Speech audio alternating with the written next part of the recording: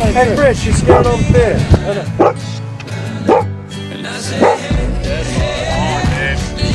You know how much we saw? Were you?